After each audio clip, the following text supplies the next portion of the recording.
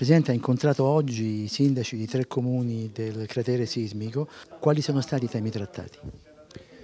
Sono i temi legati appunto alla ricostruzione inevitabilmente, il ritardo con cui ormai da troppi anni si affronta questa vicenda e, e le prospettive però di uno sblocco sostanziale delle operazioni attraverso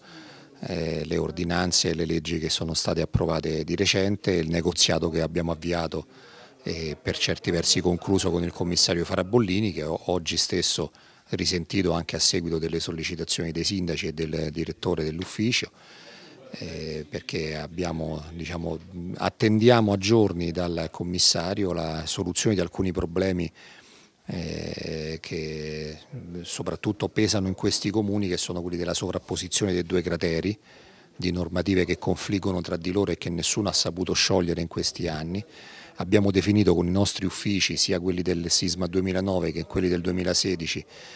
delle norme interpretative che possono sbloccare, anzi che se venissero accolte dal commissario sbloccheranno